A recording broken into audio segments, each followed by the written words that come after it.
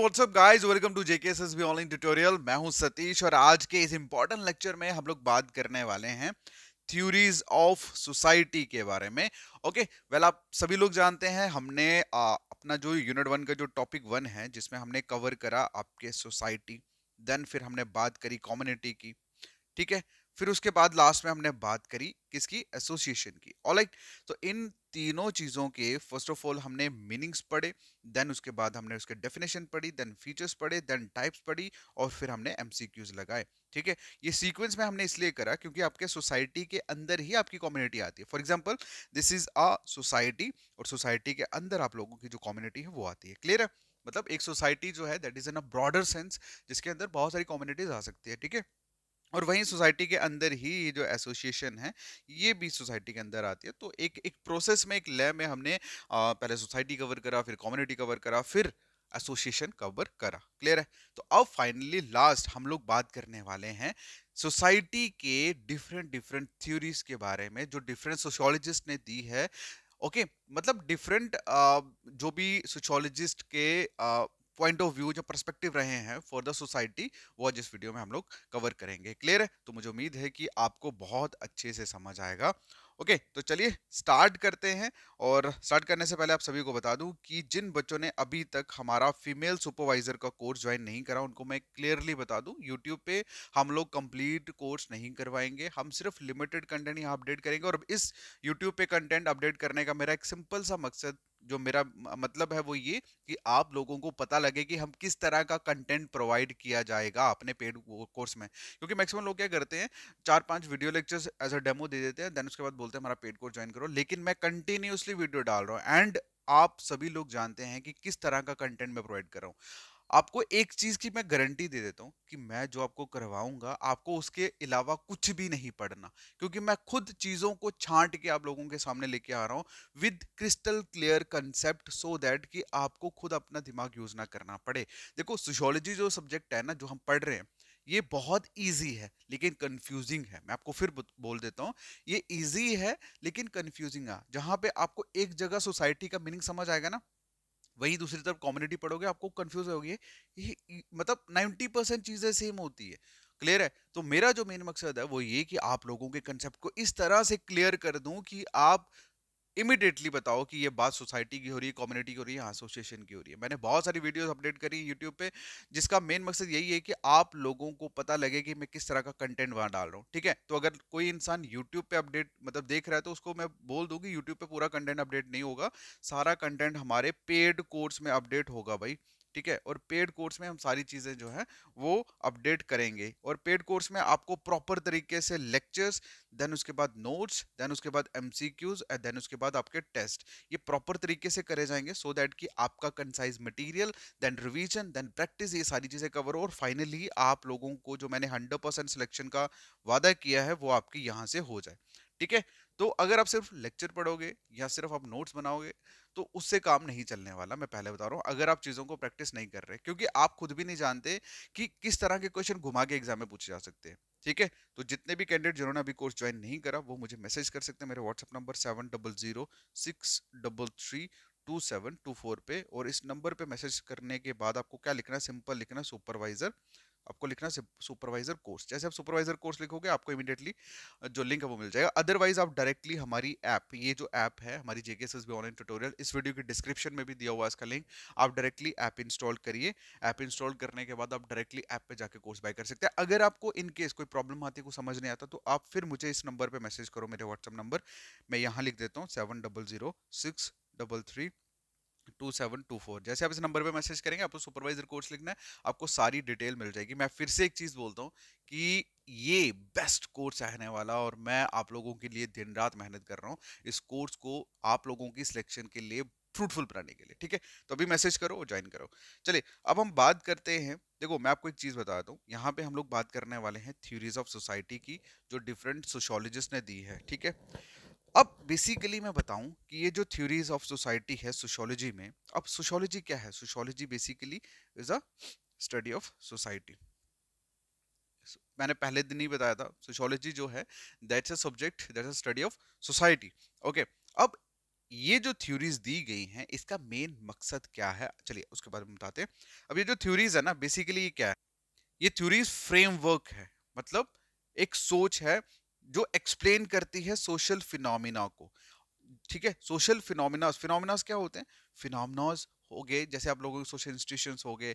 ठीक है? ये जितनी भी चीज़ें सोसाइटी में आप देखते हो, आप लोगों की ये मैरिज किनशिप वगैरह, जो इंस्टीट्यूशन वगैरह, ये सब फिनोमिनास के अंदर ही आती है। तो मतलब किस तरह से they are organise maintain and कैसे वो चेंज होते हैं? ठीक है?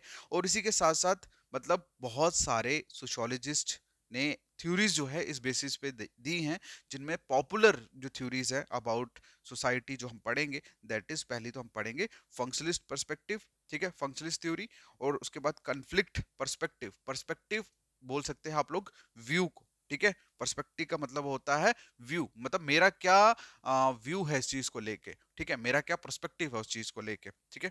देखो, पहली जो थ्योरी हमने पढ़नी है वो है फंक्शनलिस्ट थ्योरी दूसरी हमने पढ़नी है कन्फ्लिक्ट थ्योरी कन्फ्लिक्ट परस्पेक्टिव और लास्ट में जो थर्ड नंबर पे that is symbolic interaction perspective मतलब symbolic interaction interaction theory okay तो चलिए, ये जो ऊपर लिखा है ना this is just a introduction इसमें बात सिर्फ़ इन्होंने ये बोली है, इसमें ये बोला गया है कि जो थ्योरीज हैं थ्योरी जो है सोशोलॉजी में जो हम लोग पढ़ने वाले हैं, ये बेसिकली फ्रेमवर्क है जिसके थ्रू हमें ये पता लगेगा कि सोसाइटी में किस सोसाइटी में जो सोशल इंस्टीट्यूशंस हैं, जैसे मैरिज किनशिप ये आप लोगों के स्कूल कॉलेजेस और बाकी सारी जो चीज़ें हैं, ये किस तरह से ऑर्गेनाइज हैं, किस तरह से इनको मेनटेन किया गया है और वक्त के साथ इनमें किस तरह से चीज़ें जो है वो चेंजेस हो रही हैं, ठीक है? तो ये सारे के सारे डिफरेंट डिफरेंट सोशोलॉजिस्ट ने इसके ऊपर जो थ्योरीज है वो दी है, जो हम पढ़ेंगे, जिसमें मेन जो थ्योरीज हमें पढ़नी है, वो है पहला functionalist theory then conflict then उसके बाद सिंबॉलिक इंट्रैक्शन और मैं इस तीनों थ्योरीज को इस तरह सिंपल वर्ड में आपको समझाऊँगा ना कि आपको एक एक चीज़ का पता लग जाएगा। देखो, मैं आपको एक चीज़ बताता हूँ मेन जो मेन मकसद एग्ज़ाम कम्पिटेटिव एग्ज़ाम के लिए जो होना चाहिए स्टूडेंट का दैट इज़ कि आपके दिमाग जो है ना, वो खुल जाए आपका कंसेप्ट क्लियर हो जाना चाहिए सिंपल लिखने से पेपर पास नहीं होगा पीडीएफ को प्रिंट आउट कराने से पेपर पास नहीं होगा, अगर चीज़ों को दिमाग पे क्लियर नहीं है। देखो, रट्टा मारने से कुछ भी नहीं होने वाला। रट्टा मारने से कुछ भी नहीं होने वाला। चीज़ों को समझो और मैं समझाने पे ही फोकस करता हूँ। क्लियर है? तो अभी ये जो फ़र्स्ट वाला जो हमारा पोर्शन है, इसमें मैंने हमने हमने क्या देखा कि हर एक सोशोलॉजिस्ट का अलग पर्सपेक्टिव है सोसाइटी को लेके, हर अलग तरह से वो सोसाइटी को देखते हैं। अब उनके देखने का जो नज़रिया है, वो हम पढ़ेंगे इस थ्योरीज में, ठीक है? इस थ्योरीज ऑफ़ सोसाइटी में। तो मेनली जो तीन थ्योरीज है, वो कौन सी है? एक फंक्शनलिस्ट थ्योरी है, दूसरा कॉन्फ्लिक्ट थ्योरी है, तीसरा सिम्बॉलिक इंट्रैक्शन थ्योरी है, जो हम पढ़ेंगे इस लेक्चर में, ठीक है? तो चलिए स्टार्ट करते हैं। तो स्टार्ट सबसे पहले हम बात करेंगे किसकी? फंक्शनलिस्ट पर्सपेक्टिव या पर्सपेक्टिव सॉरी फंक्शनलिस्ट थ्योरी की। क्लियर है? देखो, आपको एक चीज़ पहले याद रखनी है भाई, ये जो फंक्शनलिस्ट पर्सपेक्टिव होता है ना, इसी को फंक्शनलिज्म देखो पर्सपेक्टिव का मतलब व्यू इसको तो छोड़ दो आप। आप व्यू बोलो थ्योरी बोलो, ठीक है, समझ आई? पर्सपेक्टिव का मतलब हो गया व्यू अच्छा ये जो फंक्शनलिस्ट है ना, इसको आप लोग फंक्शनलिज्म भी बोल सकते हो। अगर कहीं पे आपको फंक्शनलिस्ट की जगह फंक्शनलिज्म आ, आ जाए तो भाई कंफ्यूज मत हो जाना कि ये क्या हो गया ठीक है? ये दोनों एक ही चीज़ है दोनों का एक ही नाम है ठीक है? तो वही चीज़ लिखिए ये जो फंक्शनलिस्ट पर्सपेक्टिव है इसको फंक्शनलिज्म भी बोला जाता है और ये किसका आ, मतलब ये आ, एक मेजर थ्रेटिकल पर्सपेक्टिव है सोशोलॉजी में। देखो अब थ्रेटिकल क्यों लिखा हुआ है? क्योंकि सोसाइटी में सोसाइटी uh, बोल रहा हूँ मतलब जो भी सोशल साइंसेस है उसमें जो भी एक्सपेरिमेंट किए जाते हैं वो थ्रेटिकल बेसिस पे ही किए जाते हैं ठीक है? uh, क्योंकि that is that's experiment being happen on humans तो ह्यूमंस के ऊपर मतलब आप उनके ऑब्जर्वेशन के बेसिस पे ही उनके जो uh, uh, जो भी उनके ऊपर एक्सपेरिमेंट है वो करते हो। सो दैट्स वाई ये लिखा है कि ये जो फंक्शनलिस्ट पर्सपेक्टिव है ये एक बहुत मेजर थ्रेटिकल पर्सपेक्ट है व्यू है सोशोलॉजी में। और इसका ओरिजिन जो है वो किनके काम से हुआ? मतलब किन किन्होंने करा है? फंक्शनलिस्ट थ्योरी जो है वो किन्होंने दी है? दैट इज़ इमाइल दुर्खीम ठीक है? It has origin in the work of Emile Durkheim मतलब इसका जो ओरिजिन है, इस फंक्शनलिस्ट थ्योरी का जो ओरिजिन है, ये कहाँ से हुआ? In the work of Emile Durkheim तो मतलब इन शॉर्ट आप ये कह सकते हैं कि ये फंक्शनलिस्ट थ्योरी है कि इमाइल दुर्कीम ने दी है। ओके क्लियर है? तो हमने इस वाले फ़र्स्ट पार्ट में हमने क्या पढ़ा? कि जो फंक्शनलिस्ट पर्सपेक्टिव को हम लोग फंक्शनलिज्म भी बोल सकते हैं। ठीक है? ये मेजर पर्सपेक्टिव है। थ्रेटिकल पर्सपेक्टिव है सोशोलॉजी में और इसका ये जो पर्सपेक्टिव फंक्शनलिस्ट पर्सपेक्टिव जो है थ्योरी जो है, ये किनके द्वारा दी गई है? इमाल किंग द्वारा दी गई है। अब चलिए, अब बेसिकली इस फंक्शनलिज्म या फंक्शनलिस्ट थ्योरी में क्या बोला जाता है, उसके बारे में सुनते हैं। देखो, इन्होंने लिखा है कि फंक्शनलिज्म देखो फंक्शनलिज्म मैंने ऊपर बोल दिया कि फंक्शनलिस्ट पर्सपेक्टिव को ही फंक्शनलिज्म बोला जाता है। तो फंक्शनलिस्ट बोला जाता है तो कंफ्यूज मत होना। यहाँ लिखा फंक्शनलिज्म व्यू मतलब ये जो फंक्शनलिस्ट पर्सपेक्टिव है, इसके अकॉर्डिंगली क्या है कि सोसाइटी जो है, वो क्या है, एक कॉम्प्लेक्स सिस्टम है इंटर रिलेटेड पार्ट्स का। ठीक है? मतलब सोसाइटी जो है, वो कॉम्प्लेक्स का क्या मतलब है? मुझे किसी ने क्वेश्चन पूछा, सर कॉम्प्लेक्स कॉम्प्लेक्स का मतलब होता है डिफ़िकल्ट ठीक है? जटिल जिसे हिंदी में बोलते हैं ना डिफ़िकल्ट आप लोग बोल सकते हैं मुश्किल। मुश्किल मतलब try very hard to understand क्योंकि सोसाइटी जो है ना उसमें इतनी सारी कॉम्प्लेक्स इंटर रिलेटेड सिस्टम है। जैसे फॉर एग्जांपल बात करें हम लोग सोसाइटी में आप लोग एक रिलेशनशिप को ही लेके देख लो डिफरेंट डिफरेंट रिलेशन है हम लोगों के आपस में ठीक है? वो कुछ हमारे आ, मतलब ब्लड बेस्ड हैं कुछ ऐसे बने हुए हैं। उसके बाद हमारी खुद ज़िंदगी में देखो, जब हम बच्चे होते हैं, स्कूल जाते हैं, फिर कॉलेज जाते हैं मतलब हर जगह हमारे कहीं ना कहीं कुछ ना कुछ इंट्रैक्शंस हैं।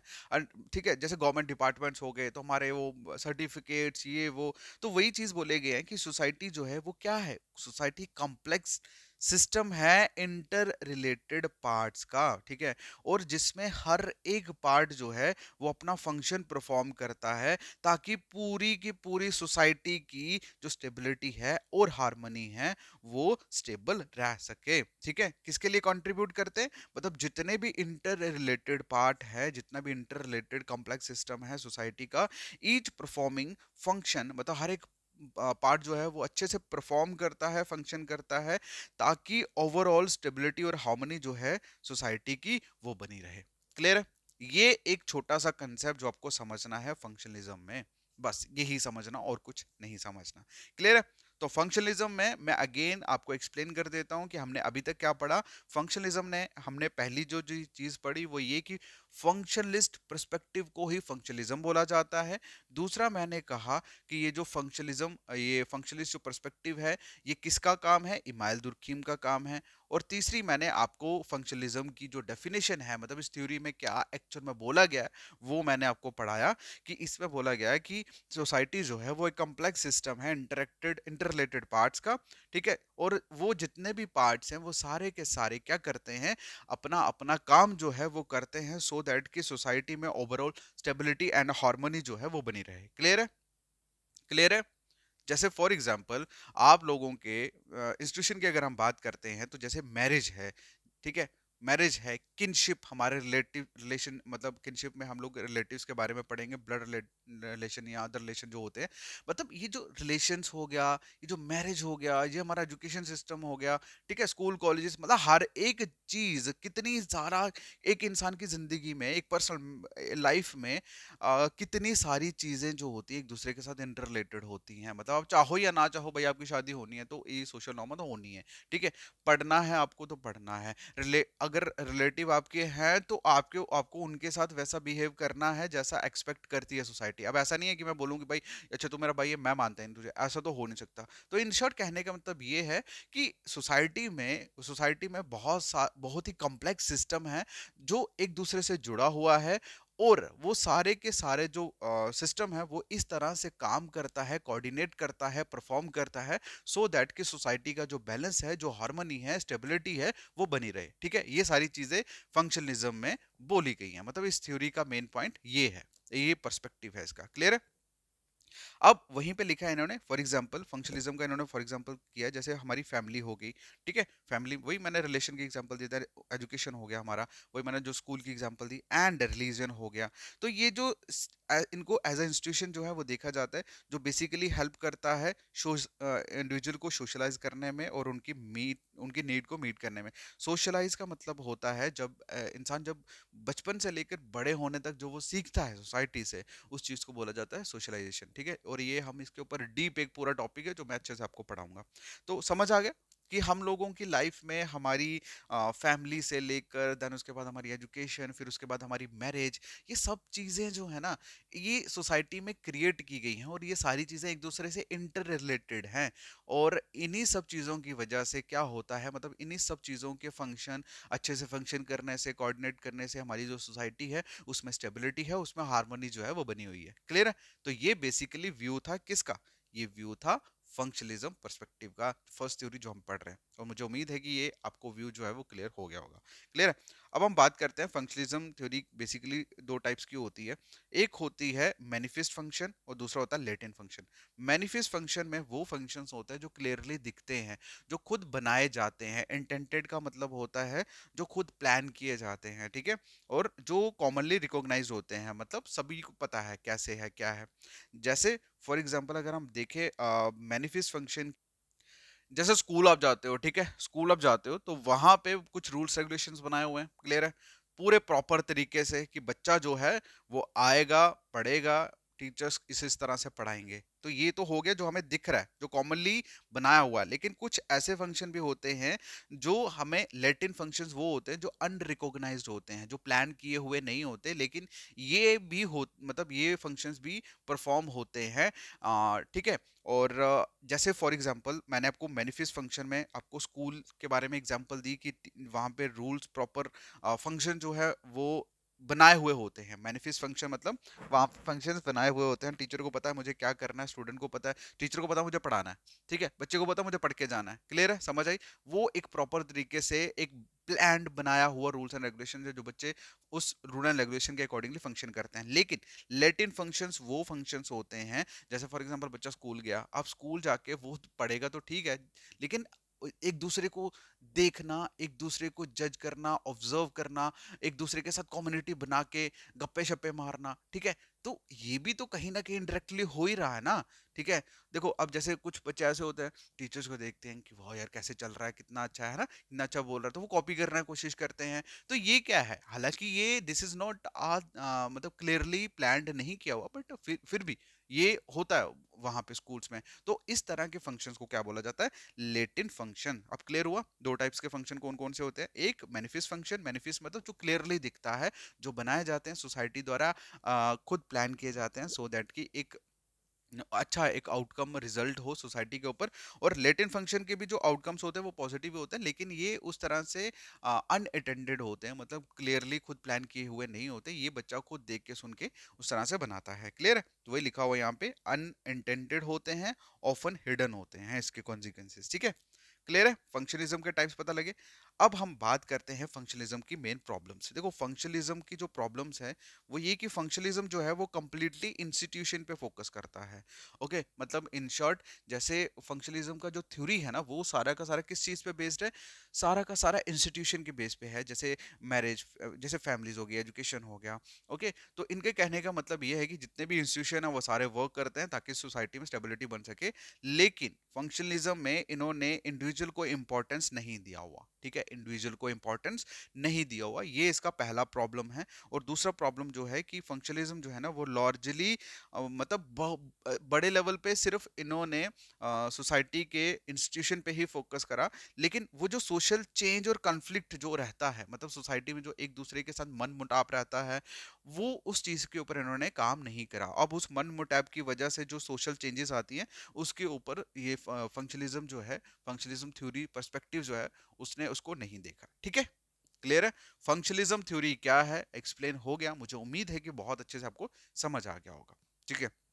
देखो मैं आपको एक चीज़ बताऊँ फंक्शनलिज्म थ्योरी को मैं कम से कम हज़ार वर्ड लिख के पीडीएफ फॉर्म में आप लोगों के सामने रिप्रेजेंट कर सकता हूँ बट मुझे पता है उन वर्ड्स का कोई मतलब नहीं है अगर आपको कंसेप्ट क्लियर नहीं है। तो इसीलिए मेरा मेन मकसद होता है कि आपको सिंपल क्वेश्चन पूछा जाएगा एग्ज़ाम में which of the following theory describe that society is based on a complex system that work to maintain the society uh, to maintain the stability of society and harmony? तो आपको simple पता लग जाएगा कि भाई ये जो थ्योरी है, ये हमने किसमें पढ़ी है? ये फंक्शनलिज्म थ्योरी में पढ़ी है तो आप सीधा क्लिक टिक करोगे। वहीं पे फंक्शनलिज्म थ्योरी में दूसरा क्वेश्चन इसलिए आ सकता है कि functionalism theory is has its origin from which of the from from which sociologist तो क्या आंसर आएगा? Emile Durkheim. ठीक है? ये दो तरह के क्वेश्चन आपको एग्ज़ाम में पूछे जा सकते हैं। इसी तरह से, ठीक है? ये फंक्शनलिस्ट थ्योरी में दो तरह के क्वेश्चन पूछे जा सकते हैं, जो मैंने अभी आपको एक्सप्लेन कर दिया। ओके चलिए, अब हम नेक्स्ट बढ़ते हैं। हमारी थ्योरी जो है next that is conflict perspective ठीक है? परस्पेक्टिव मतलब व्यू आप थ्योरी भी बोल सकते हो। कन्फ्लिक्ट वर्ड से ही आपको पता लग गया होगा। कन्फ्लिक्ट का मतलब होता है कन्फ्लिक्ट ऐसे तो बोलते हैं, झगड़े को। ठीक है? मन मुटाव जो रहता है। ठीक है? अब कन्फ्लिक्ट पॉइंट ऑफ़ व्यू से क्या है, इन्होंने किस तरह से सोसाइटी को देखते हैं, वो हम पढ़ते हैं। पहली तो ये जो पर्सपेक्टिव है, ये जो कन्फ्लिक्ट थ्योरी है, ये किसका काम है? मतलब किनो, इनका ये कार्ल मार्क्स जो है कार्ल मार्क्स ने ये थ्योरी जो है वो दी है। क्लियर है? कन्फ्लिक्ट थ्योरी जो है, ये कार्ल मार्क्स द्वारा दी गई है। क्लियर है? अब इसमें कार्ल मार्क्स जो है, इस कन्फ्लिक्ट थ्योरी में किस तरह से सोसाइटी को देखा जाता है? चलिए, अब इनके अकॉर्डिंगली मतलब कार्ल मार्क्स द्वारा सोसाइटी को किस तरह से देखा जाता है? Who saw society as fragmented fragmented होता है छोटे छोटे पीसेस में डिवाइड होना, ठीक है? फ्रेगमेंटेड मतलब इनटू स्मॉल पीसेस फ्रेगमेंटेड है इनटू ग्रुप्स ठीक है? अब सोसाइटी जो है वो क्या है? मतलब कार्ल मार्क्स के अकॉर्डिंगली इस कॉन्फ्लिक्ट पर्सपेक्टिव थ्योरी के अकॉर्डिंगली सोसाइटी जो है वो डिफरेंट डिफरेंट ग्रुप्स में बटी हुई है, जो कम्पीट कर रही है मतलब एक दूसरे के साथ जिदोजहद कर रही है, ताकि सोशल और इकोनॉमिक रिसोर्सेज को लेके मतलब जैसे फॉर एग्जांपल आपने एक चीज़ देखी, सोसाइटी में बेसिकली क्या है कि हर एक इंसान जो है, वो लगा पड़ा है, अपना जी जान लगा रहा है, अपने लिए एक सोशल इकोनॉमिक सोर्सेज को इकट्ठा करने के लिए, ठीक है? तो वही चीज़ यहाँ पे एक्सप्लेन करी गई है।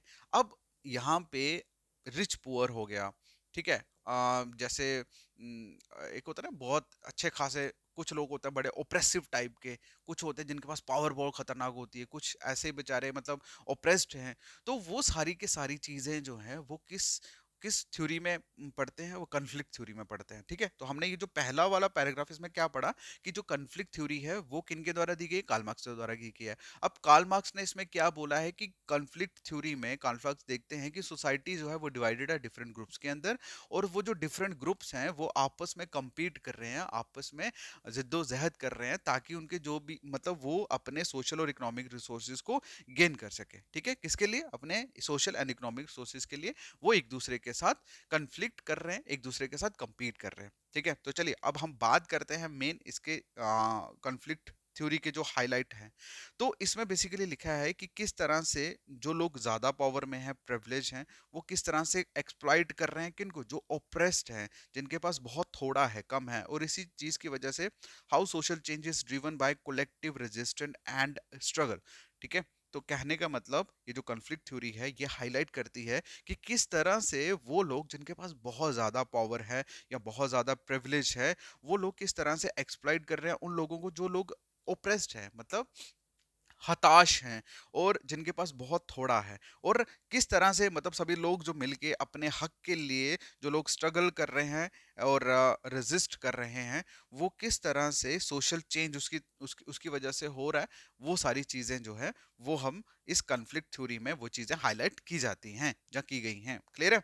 अब जैसे फॉर एग्जांपल लिखा हुआ है conflict theory explain the persistent persistence होता है कंटिन्यूसली ठीक है? ये जो आ, मतलब कन्फ्लिक्ट थ्योरी एक्सप्लेन करता है इस gender class and racial inequality को लेके and the social movements that challenge them मतलब आपकी इस सोशल कॉन्फ्लिक्ट जो थ्योरी है, ये ये क्या एक्सप्लेन करती है? मतलब जो सदियों से चलता हुआ आ रहा है gender inequality class inequality racial inequality और जो मूवमेंट्स रही हैं, जो मूवमेंट्स रही है, जो मतलब इसके खिलाफ जो मूवमेंट्स रही हैं, ताकि चीज़ों को चेंज किया जाए तो ये सारी की सारी चीज़ें जो है कहाँ पढ़ते हैं हम लोग? कन्फ्लिक्ट पर्सपेक्टिव कॉन्फ्लिक्ट थ्योरी में, जो किसके द्वारा दी गई है? कार्ल मार्क्स द्वारा दी गई है। अब यहाँ से दो क्वेश्चन किस तरह से बन सकते हैं? सुनिए। पहला क्वेश्चन तो बनेगा कि who gave this conflict theory okay तो आंसर क्या होगा? कार्ल मार्क्स अब दूसरा जो चीज़ है, वो ये है कि conflict theory is based on what तो कॉन्फ्लिक्ट थ्योरी बेसिकली किसके ऊपर बेस्ड है? दैट इज़ ऑन दी अगर फॉर एग्जांपल क्वेश्चन इस तरह से पूछा जाए कि which of the following theory says या describe society as fragmented into part and compete for social and economic sources तो क्या आंसर आएगा? आंसर आएगा conflict perspective and conflict theory clear है? यहाँ तक मुझे उम्मीद है कि आपको अच्छे से समझ आया होगा. क्लियर है? चलिए, अब हम बढ़ते हैं नेक्स्ट चीज़ की तरफ़. नेक्स्ट जो कन्फ्लिक्ट थ्योरी की मेन प्रॉब्लम देखो जैसे फंक्शनलिज्म में हमने मेन प्रॉब्लम पढ़ी तो फंक्शनलिज्म में क्या था कि उन्होंने सिर्फ़ और सिर्फ़ सोशल इंस्टीट्यूशन पे फोकस करा, उन्होंने इंडिविजुअल पे फोकस नहीं करा। ठीक है? उन्होंने सिर्फ़ और सिर्फ़ अच्छी चीज़ों पर फोकस करा, उन्होंने सोसाइटी में हो रहे कन्फ्लिक्ट के बारे में नहीं पढ़ा। तो वहीं पर जब हमने कन्फ्लिक्ट थ्योरी के बारे में पढ़ा तो कन्फ्लिक्ट की क्या प्रॉब्लम्स थी चले जानते हैं। कन्फ्लिक्ट ने सिर्फ़ और कन्फ्लिक्ट थ्योरी में सिर्फ़ और सिर्फ़ जो जो वीक पोर्शन था, ठीक है? वीक सोशल स्टेबिलिटी पे इन्होंने फोकस करा, वो इसकी सबसे बड़ी प्रॉब्लम थी, ठीक है? और वहीं पे दूसरा जो इनका प्रॉब्लम ये कि इन्होंने सोसाइटी को एक्सप्लेन नहीं करा कि किस तरह से सोसाइटी एक दूसरे के साथ जुड़ी हुई है। किस तरह से सोसाइटी एक दूसरे के साथ बंध के, एक दूसरे के साथ कॉपरेट करके काम कर रही है। इन्होंने सिर्फ़ और सिर्फ़ लोगों के बीच में वो जो कन्फ्लिक्ट था, जिन जो मोर प्रिवलेज मोर पावरफुल है और जो लोग ऑपरेस्ड है, जिनके पास बहुत थोड़ा है तो इन्होंने सिर्फ़ उसी चीज़ पर फोकस करा। इन्होंने डोंट एक्सप्लेन कि सोसाइटी किस तरह से एक दूसरे के साथ हेल्ड है ओके okay? तो नेक्स्ट जो इनका प्रॉब्लम वो ये था कि इन्होंने सिर्फ़ और सिर्फ़ इन्होंने स्टेटस क्यू स्टेटस क्यू का मतलब होता है the existing state of fair मतलब जो एग्जिस्टिंग सिचुएशन होती है किसी भी uh, चीज़ की तो इसके ऊपर उन्होंने फोकस जो था वो नहीं करा। इन्होंने पुराने जो परसिस्टेंट चीज़ें चलती आई थी जैसे social in gender inequality racial inequality इन्होंने उस चीज़ के ऊपर काम करा और उस टाइम से लेकर आज तक जो भी सोशल मूवमेंट्स हो रही थी कॉन्फ्लिक्ट थ्योरी में सिर्फ़ उसी चीज़ के ऊपर बात करेगी तो इसीलिए ये तीन जो है वो जो मेन प्रॉब्लम्स कॉन्फ्लिक्ट थ्योरी में देखी जाती हैं। क्लियर है? यहाँ तक कोई डाउट मैंने आपको थ्योरी भी पढ़ाई, उसके रिलेटेड आने वाले क्वेश्चंस के आंसर भी आपको दिए। अब नेक्स्ट पढ़ते हैं। नेक्स्ट जो है, वो है हमारा सिंबॉलिक इंटरेक्शन थ्योरी अब सिंबॉलिक जो वर्ड है, आपको पता लग गया होगा इट्स अ सिंबल ठीक है? प्रतीक, जैसे फॉर एग्जांपल आपको जैसे जैसे डॉग हो गया, डॉग क्या है? डॉग सिंबल है किसका? एक फ्रेंड फ्रेंडशिप का हो गया या एक काइंड हार्टेड हो गया मतलब वफादारी का वो सिंबल है ना, ठीक है? और दूसरा जो है, ये हो गया इंटरेक्शन मतलब इंटरेक्शन का मतलब आप किस आप किस इंसान से किस तरह से इंटरेक्ट करते हो, ठीक है? उसको बोला जाता है। तो यहाँ पे डिफरेंट मतलब सिम्बॉलिक के बेसिस पे जो इंटरेक्शन जो होती है, वो सारी मतलब होती है सोसाइटी में वो हम लोग इस थ्योरी में पढ़ेंगे, ठीक है? अब मैं आपको एक एग्जांपल के साथ ही इस थ्योरी की स्टार्ट करता हूँ सो दैट कि आपको कंफ्यूजन ना हो। देखो, यहाँ पे लिखा है सिंबल और इंटरेक्शन अब इसी को मैं एग्जांपल देता हूँ। जैसे फॉर एग्जांपल एक इंसान है एक बंदा है, ठीक है? वो जाता है ऑफ़िस तो ऑफ़िस में जब वो ऑफ़िस जो है, उसको एक सिंबल मानते हैं, ठीक है? अब वो जो ऑफ़िस जाता है तो ऑफ़िस में उसका जो इंटरेक्शन होता है बिहेव होता है, बातचीत करने का तरीका होता है, वो डिफरेंट होता है। सपोज़ करो वही बंदा पिकनिक गया हुआ है तो पिकनिक जो है दैट इज़ अनदर सिंबल ठीक है? और पिकनिक में जाके उसके बिहेवियर ऑब्वियसली अलग होंगे। जैसे फॉर एग्जांपल स्कूल में हम देखते हैं कि एक जो स्टूडेंट होता है या एक टीचर जो होता है, उसका जो स्कूल में उनका बिहेवियर अलग होता है, ठीक है? तो मतलब स्कूल को अगर हम एज अ सिंबल लें तो वहाँ पे जो इंटरेक्शन हो रही है टीचर की स्टूडेंट के साथ या स्टूडेंट की टीचर के साथ, वो अलग होती है। सपोज़ करो वही स्कूल पिकनिक जा रहा है, वहीं पे वही बच्चे, वही टीचर एक दूसरे के साथ नाच रहे हैं तो मतलब वहाँ पे एक वहाँ पे अलग इंटरेक्शन होना शुरू हुआ। तो यही चीज़ें इस पर्टिकुलर थ्योरी में एक्सप्लेन करी गई है सिंबॉलिक इंटरेक्शन थ्योरी ठीक है? तो सबसे पहले हम बात करते हैं कि ये जो सिंबॉलिक इंटरेक्शन थ्योरी है, ये किन के द्वारा दी गई है? ये बेसिकली जो सिंबॉलिक इंटरेक्शन जो थ्योरी है, ये जॉर्ज हार्बर्ट, मीड और चार्ल्स हॉर्टन कूले द्वारा दी गई है। देखो, लिख लेते हैं इसका नाम। George Herbert Herbert B R T Herbert, Mead and Charles Horton Cooley. Charles Horton Cooley. ये दो बंदे हैं जिनके द्वारा ये जो सिंबॉलिक इंटरेक्शन थ्योरी जो है वो दी गई है, ठीक है? अब इस इंटरेक्शन थ्योरी को आप सिंबॉलिक इंटरेक्शनिज्म भी बोला जाता है, ठीक है? सिंबॉलिक सिंबॉलिक इंटरेक्शन पर्सपेक्टिव को आप लोग सिंबॉलिक इंटरेक्शनिज्म भी बोल सकते हैं, ठीक है? ये भी एक मेजर फ्रेमवर्क है मतलब सोशोलॉजिकल थ्योरी का सोसाइटी की थ्योरी का, ठीक है? तो ये बेसिक ऐसे लिखा हुआ है कि ये भी बहुत बड़ी थ्योरी है जिसको हम पढ़ते हैं। इस लाइन को इतना ज़्यादा इंपॉर्टेंस देने की ज़रूरत नहीं है हर जगह लिखी हुई है। आपको सिर्फ़ क्या पढ़ना है? सिम्बॉलिक इंट्रैक्शन परस्पेक्टिव जो है, उसको सिंबॉलिक इंट्रैक्शन भी बोला जाता है और मैं ऑलरेडी इसको बहुत अच्छे से फ़र्स्ट टाइम पर ही एग्ज़ाम्पल के तौर पर समझा चुका हूँ। ठीक है? अब यहाँ पर क्या लिखा है कि सिम्बॉलिक इंटरेक्शन इंटरेक्शनिज्म जो होता है, इसमें क्या है कि पीपल जो है, वो यूज़ करते हैं सिंबल को, जैसे लैंग्वेज हो गया गेस्टर हो गया ऑब्जेक्ट्स हो गया, ताकि उस हिसाब से दे कैन मतलब क्रिएट कर सके शेयर कर सके मीनिंग को और एक दूसरे के साथ इंटरेक्ट कर सके जो मैं ऑलरेडी आपको एक्सप्लेन कर चुका हूँ ठीक है? मतलब लोग जो है वो सिंबल के अकॉर्डिंगली चाहे सिंबल कुछ भी हो सकता है जगह भी हो सकती है कोई ऑब्जेक्ट भी हो सकता है लैंग्वेज भी हो सकती है तो लोग उसके अकॉर्डिंगली क्या करते हैं जो मीनिंग्स हैं वो एक दूसरे के साथ क्रिएट और शेयर करते हैं और साथ ही साथ उस उसी आ, के अकॉर्डिंगली एक दूसरे के साथ इंटरेक्ट करते हैं ठीक है? जैसे पार्टी का माहौल जो है वो अलग होता है। ठीक है? और वहाँ पे जो ऑब्जेक्ट्स होंगे पार्टी के टाइम पे वो भी अलग होंगे। बट आप जब काम कर रहे हो तो वहाँ पे ऑब्जेक्ट भी अलग है। तो ऑब्वियसली आपके जो इंटरेक्शन जो मीनिंग्स हैं एक दूसरे के साथ वो भी अलग होंगे। क्लियर है? समझ समझ आ गई? जो मैंने आपको पिकनिक की एग्जांपल दी ऑफ़िस की एग्जांपल दी क्लियर हो गया होगा आपको। चलिए, अब इसमें बेसिक क्या है? सिंबॉलिक इंटरेक्शन थ्योरी में क्या है? ये एम्फोसाइज करता है इंपॉर्टेंस ऑफ़ इंडिविजुअल एजेंसी को। मतलब वहाँ आपने फ़ंक्शन फंक्शनलिज्म थ्योरी में हमने सोशल इंस्टीट्यूशन के बारे में पढ़ा, ठीक है? उसके बाद हमने जब कन्फ्लिक्ट पढ़ा तो कन्फ्लिक्ट में हमने ग्रुप्स के बारे में पढ़ा, एक ग्रुप जो बहुत ज़्यादा पावरफुल है और किस तरह से वो एक्सप्लाइट कर रहा है, उन लोगों को जिनके पास कुछ भी नहीं है। ठीक है? अच्छा ये जो सिंबॉलिक इंट्रैक्शन थ्योरी है ना, ये बेसिक इंडिविजुअल एजेंसी पे इंडिविजुअल एजेंसी को इंडिविजुअल की एजेंसी क्रिएटिविटी एंड इंटरेक्शन को इम्पोर्टेंस देता है। ठीक है? जो एक्चुअल में क्या करता है?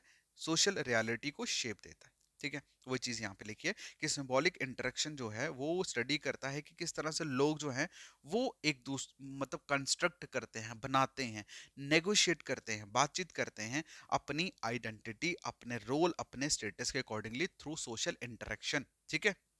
क्लियर है? तो इन शॉर्ट कहने का मतलब ये कि लोग जो हैं इस सिंबॉलिक इंटरेक्शन में ये पढ़ा जाता है कि किस तरह से लोग जो हैं वो अपने आइडेंटिटी, रोल और स्टेटस के अकॉर्डिंगली नेगोशिएट करते हैं किसमें? सोशल इंटरेक्शन में। ठीक है? क्लियर है? जैसे फॉर एग्जांपल मेरा कहने का मतलब ये कि आइडेंटिटी, रोल और स्टेटस के अकॉर्डिंगली जैसे सपोज़ एक जो सीईओ है कंपनी का तो कंपनी में तो सीईओ है बट वहाँ पे उस कंपनी में उसकी आइडेंटिटी उसकी जो स्टेटस रोल जो है वो डिफरेंट है। लेकिन वही बंदा जब किसी अलग पिकनिक में चला गया तो फिर सभी लोग यार दोस्तों की तरह हैं। तो वही चीज़ लिखी गई है कि पीपल जो है वो नेगोशिएट करता है कंस्ट्रक्ट uh, करता है ऑन द बेसिक इस सिम्बॉलिक थ्योरी में थ्रू सोशल इंट्रैक्शन ठीक है? इसके गहराई में आपको घुसने की ज़रूरत नहीं है, कि वर्ड जाने की ज़रूरत नहीं है मैंने सिर्फ़ आपको ये बोला है कि सोशल इंट्रैक्शन में आपको सिर्फ़ और सिर्फ़ चीज़ों का ध्यान रखना है कि लोग जो हैं वो यूज़ करते हैं सिंबल्स को, जैसे लैंग्वेज गेस्टर ऑब्जेक्टिव हो गया सो so दैट कि उसके accordingly peoples can interact with each other बस इसी चीज़ को याद रखना, पूरी पूरी थ्योरी इसी पे है, ठीक है? अब देखिए, इसमें एग्ज़ाम्पल क्या है कि सिम्बॉलिक इंटरेक्शन जो है can explain how people present themselves different and different situation वही मैंने बताया, ठीक है? अब सिंबॉलिक इंटरेक्शन की जो थ्योरी है, उसकी एग्जांपल की अगर मैं बात करूँ, क्या लिखा हुआ है कि सिंबॉलिक इंटरेक्शन जो है, उसमें क्या एक्सप्लेन किया जाता है कि लोग जो हैं वो अपने आप को डिफरेंट डिफरेंट सिचुएशन में डिफरेंटली प्रेजेंट करते हैं। जैसे एक टीचर जो है स्कूल में अलग तरह से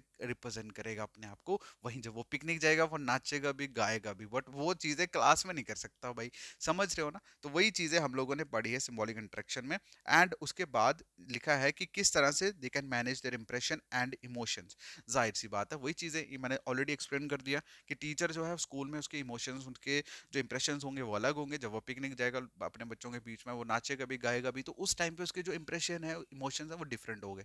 क्लियर हो गए यहाँ तक? मुझे उम्मीद है बहुत अच्छे से समझ में आया ठीक है? चलिए, अब हम बात करते हैं, देखो हमने जो ऊपर थ्योरीज पढ़ी सोशोलॉजी की रिलेटेड विद सोसाइटी उसके बाद वो जो, वो मेन थी, जो हमने तीन ऊपर पढ़ी ना फंक्शनलिस्ट हो गया कन्फ्लिक्ट हो गया और सिंबॉलिक ये तीन मेन है, बाकी उसके बाद कुछ भी मेन नहीं है, लेकिन फिर भी मैं आपको बताता हूँ। कुछ और अदर थ्योरीज भी हैं। जैसे फॉर एग्जांपल फेमिनिस्ट थ्योरी हो गया क्रिटिकल थ्योरी हो गया सोशल लर्निंग थ्योरी हो गया एंड लेबलिंग थ्योरी हो गया। ये भी कुछ थ्योरीज है बट हालाँकि ये एग्ज़ाम में उतनी ज़्यादा पूछी नहीं जाती है, ना ही ये आती है सिंपल सी बात है। ये लोग पढ़ते भी नहीं है बट आपको पता होना चाहिए, कहीं पर अगर आप देख लो तो फिर आप मुझे बार बार मैसेज करोगे, ये क्या है, क्या नहीं? इसलिए मैंने इसको एड ऑन कर दिया और थोड़ा बहुत हम देख भी लेते हैं। देखो फेमिनिस्ट थ्योरी फेमिनिस्ट थ्योरी में क्या है? फेमिनिस्ट वर्ड से आपको पता लग गया होगा फीमेल ठीक है फीमेल के रिलेटेड है। फीमेल आपको पता है कि फीमेल जो पहले टाइम पे जो क्या था फीमेल्स को उतनी ज़्यादा आज़ादी, उतनी ज़्यादा राइट्स उतनी ज़्यादा प्रिवलेज नहीं थी। लेकिन अब, आपके टाइम पे females is also like a male, ठीक है? मतलब उनको उस लेवल का दर्जा दिया जाता है। तो मतलब वो जो पहले टाइम पे इनको इतनी प्रिविलेज नहीं थी, उस टाइम पे ये जो फेमिनिस्ट थ्योरी थी वो जागी, जिसमें इनका मेन जो काम था मतलब इन्होंने एनालाइज ये जो मेन थ्योरी थी, ये this was about the status of women and man in society ठीक है? एंड फेमिनिस्ट थ्योरी जो थी वो मेनली कंसर्न थी किसके साथ? मतलब विमेंस को एक हाईलाइट देने के लिए विमेंस की वॉइस जो थी, वो ये बनी इस फेमिनिस्ट थ्योरी में ओके okay? मतलब फेमिनिस्ट थ्योरी थी जो थी that is related with the womens जो वीमेंस को पहले प्रिवलेज वगैरह नहीं थी, इतनी सारी चीज़ें वो नहीं कर सकती थी तो उस टाइम पे मतलब ये वॉइस जो थी वो रेज करी गई कि वीमेंस को भी सेम दर्जा जो है वो मेल्स के बराबर देना चाहिए। तो this feminist theory was wholly solely concern with giving voice to women and highlight the various way women contributed to the society मतलब feminist theory में क्या था कि women's की एक women's का आवाज़ बनना women's की privilege provide करना और women's के women जो भी contribute करती है society में उन सभी points को highlight करना ठीक है ये सब था आपकी फेमिनिस्ट थ्योरी में। और ये सिर्फ़ एक्सप्लेन करा, आपको इतना ज़्यादा इसको सीरियसली लेने की ज़रूरत नहीं है। अब नेक्स्ट जो है that is critical theory critical theory में क्या था? ये टाइप ऑफ़ थ्योरी थी जिसमें, जिसका एम था सोसाइटी को क्रिटिक करना। देखो सोसाइटी में आपको एक चीज़ बताऊँ, जब हम सोशल साइंस पढ़ते थे, जब हम कॉलेज में थे तो हमें एक चीज़ बोली जाती है कि जब तक भैया आप लोग अपने अपने सब्जेक्ट अपने आंसर में जब आप, जब तक आप क्रिटिकल क्रिटिक ना लिखोगे क्रिटिकल एग्जामिनेशन ना दोगे तो आपका पूरा सब्जेक्ट जो है वो कंप्लीट नहीं होता। है तो इसी तरह से सोसाइटी में जो लोग कुछ अच्छी चीज़ों की तरफ़ देखते हैं, ध्यान देते हैं, वहीं पे कुछ ऐसी भी है जिनका मेन काम होता है वहाँ की बुराइयाँ ढूंढना। तो ये जो क्रिटिक थ्योरी है, ये उसी के ऊपर बेस्ड है। तो मतलब इसका जो मेन एम होता था, वो क्रिटिक्स को फाइंड आउट करना, ठीक है? जो भी आपके सोशल स्ट्रक्चर या सिस्टम ऑफ़ पावर्स या ये जो सोशल चेंजेस में जो भी चेंज मतलब आ रही है, उसको इन सभी चीज़ों में उनको क्रिटिसाइज करना जो उसमें क्रिटिक्स जो थो उसको ढूंढना ठीक है? तो ये इतनी भी ज़्यादा इंपॉर्टेंट नहीं है भाई एग्ज़ाम पॉइंट से मैं सिर्फ़ ऐसे आपको बता रहा हूँ ताकि आप लोगों को पता लग जाए। देन उसके बाद लेवलिंग थ्योरी लेवलिंग थ्योरी की मोस्ट इंपॉर्टेंट अप्रोच है to understand the deviant and criminal behaviour ठीक है? तो ये जो थी ये स्टार्ट uh, हुई थी uh, ये बेसिकली जो डेफिनेशन होती है ना मतलब ये जो थ्योरी है लेबलिंग थ्योरी ये आप लोगों की क्रिमिनल बिहेवियर अप्रोच को अंडरस्टैंड करने के लिए है इसको छोड़ दो कभी एग्ज़ाम में नहीं आएगी। ठीक है? अगर आई भी तो मतलब जब आपको क्रिमिनल वर्ड दिखेगा ना तो वहाँ पे आप इसको टिक कर देना, लेकिन 99.9999 परसेंट चांसेस है कि ये नहीं आएगी। क्योंकि कभी भी क्रिमिनल और ये सब चीज़ें एग्ज़ाम में पूछने आती। एग्ज़ाम जब भी एग्ज़ाम में चीज़ें पूछी जाएँगी, या तो वो एक अच्छी चेंज की वजह से होगा, या एक अंडरस्टैंडिंग पॉइंट ऑफ़ व्यू से होगा, ये मेरा पर्सनल एक्सपीरियंस है, ठीक है? उसके बाद लास्ट जो है that is social learning theory social learning theory basically वो थ्योरी है, जिसमें सोशलाइजेशन को एक्सप्लेन किया जाता है। मतलब किस तरह से एक इंसान बचपन से लेकर बड़े होने तक सोसाइटी से, घर से, स्कूल से डिफरेंट डिफरेंट जगह से जो भी वो सीखता है देन वो सीखी हुई चीज़ों को अपने अंदर डाल के सोसाइटी के लिए जो अच्छे काम करता है, वो सारी चीज़ें इस सोशल लर्निंग थ्योरी में एक्सप्लेन करी गई है। ठीक है? तो कुछ ज़्यादा नहीं है इसमें, बस यही है। क्लियर है? तो ये था हमारा आज का theories of society and sociology जो हमने कवर करा और मुझे उम्मीद है कि आपको अच्छे से समझ आया होगा। बाकी कोई भी डाउट होगा तो पूछ लेना, हम लोग क्लियर करेंगे। Okay so all the best guys thank you so much take care bye bye